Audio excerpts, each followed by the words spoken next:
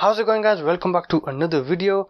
So in this video I'm going to be taking a look at this cheap uh, 7 port USB hub which you can get from eBay or well Amazon and stuff for about um, 10 quid maybe less than that sometimes. So before we get started links will be in the description if you want to buy this and also timestamps will be in the description if you want to um, just jump to a section which you want to see. So let's start with the I guess the unboxing. Well, it came with um, it, it, it came in a box, but it doesn't have a retail packaging. Um, so basically it's just the packaging, the parcel, and came in that. Um, it came with um, this USB 3 cable, which I'll get onto in a bit, and uh, it also came with a power supply, which we'll talk about in a bit as well. But first, let's go ahead and take a look around this keyboard. I mean, uh, this uh, USB hub. So if I could get that in focus, uh, on the front you got one, two, three, you've got seven ports uh, on the front, USB 3, all of them, and for each of them you got a switch over here. And uh, that's a really nice switch considering it's a Chinese product, and then you've also got LEDs for each of them, every single one of them over here. So whenever you're using one, you turn it on, and it's gonna switch the LED on just to indicate that it's on um, on this side it's got power input and a micro USB 3 for data. So you connect that with your PC on the other side. And it's got nothing else but um, a light over here an indicator light over here that will let you know if it's powered on and if it's working or not. So it's pretty simple. One of the things I do like about it is the uh, design. Now yeah of course it doesn't look like the best thing in the world but it, I, I, kind of I kind of like it. it has some edges on it and stuff. Um, it, it looks nice when it's sitting on the desk. Um, the only thing I wish for is it could have been in a different color or something because I like things in white and you know if you if you have things in white like a keyboard and a mouse and stuff you probably want it in white. Uh, it'll look much nicer but it does look nice definitely especially the LEDs they do definitely look nice. As far as build quality goes it's basically made out of plastic. It's got a lot of space inside it so it's all hollow well basically so that's why it is. If you drop your somewhere a few times it's probably gonna break into pieces. That's way it is. So let's talk about the operation. How does it even work? Well um, on the side here you've got USB so it comes with this cable. Now problem is this cable is just this big. That's about two feet or something two or three feet. And that is too short way too small for anything. So what I what I did is I got a hard uh, hard drive, an external one, which also connects with the same cable, but that cable is longer. So I'm, I use that, right? And so I can have it on my desk, and the cable goes under the table and uh, plugs into the PC. This is too small for that, and also the power supply is too small as well. So something is definitely going on over here. So what I use um, this blue cable for is to connect it with the hard drive. Instead, I have the hard drive plugged in here instead of going to the um, with the other cable down to the laptop or the or the PC that I've got. Um, and because this is a lot closer and that works perfectly. And then you also got your uh, wall adapter which goes in here which you can use to power if you have less power coming out of your device. Now here's the problem with that if I can get this in focus or something uh, you can probably read that.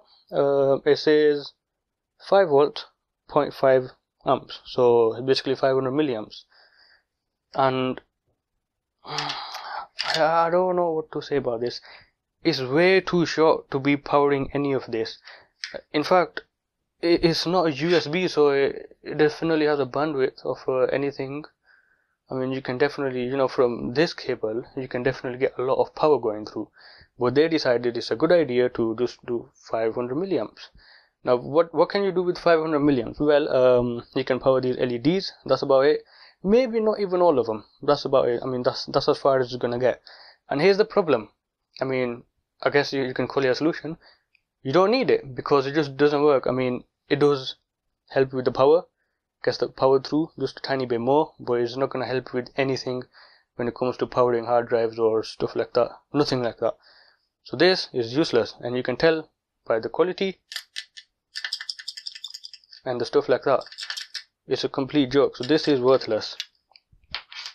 So basically that doesn't work. So to summarize this we don't need the power supply alright? It's not going to work it's not going to do anything. That's why I found. So let's go ahead and plug this in. I show you um, how it works and I don't recommend this because it has a problem. So I'm just going to move the camera here alright? So I'm going to plug it in over here.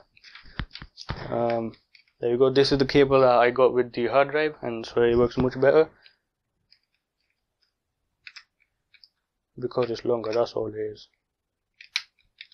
So now it's plugged in and as you can see one of the LEDs has come on. So that goes down to the table. Now this goes into my external hard drive which goes in any of these ports and that would work and whatnot.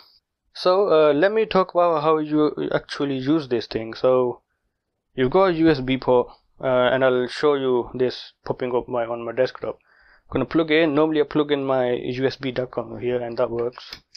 Here we go. So that would pop up over there. Um, you can see that right there. So that's that's good. It's got the test file for my phone reviews. So that's good. I'll just zoom back out. And I'll show you the other bits. So here's a here's the problem. Uh, the, the good thing is it doesn't affect uh, read and write speeds like they're actually properly working. But the power supply is not going to help. So I thought the power supply was the issue because the half of it wasn't working and stuff. So I got all my board up here. Which I had to reroute everything or reroute everything. All the power uh, the cable management which of course looks bad over here but um, I had to reroute everything so it would you know work over here. So I could just plug this in to the uh, thingy and I have it over there because it's just too short. Look it doesn't go that far. So I have it over here. But that didn't work because it, I found out that it doesn't really help at all. So don't get that.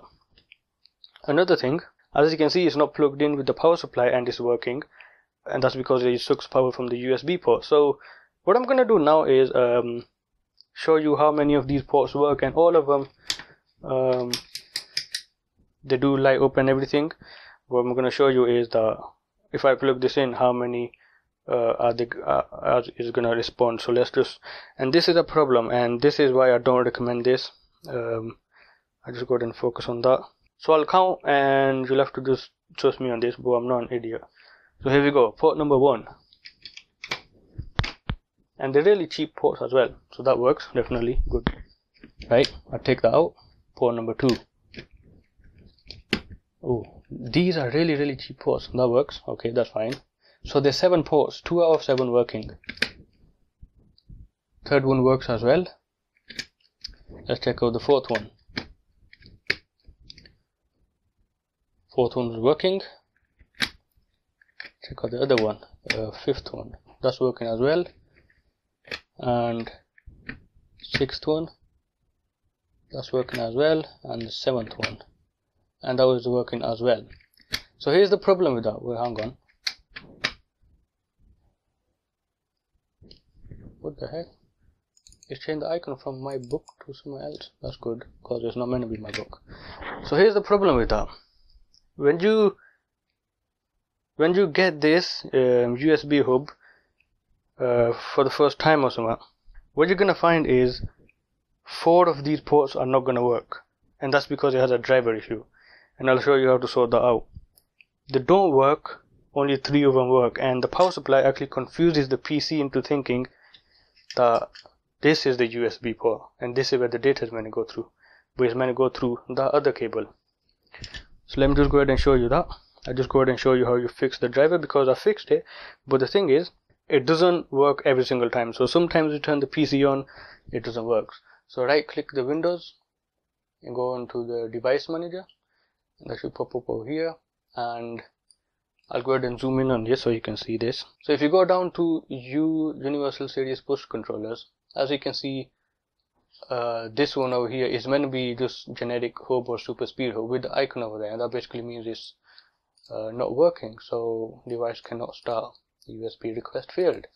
And that's because it doesn't have a driver. And what I find is sometimes if I turn it on it doesn't work at all.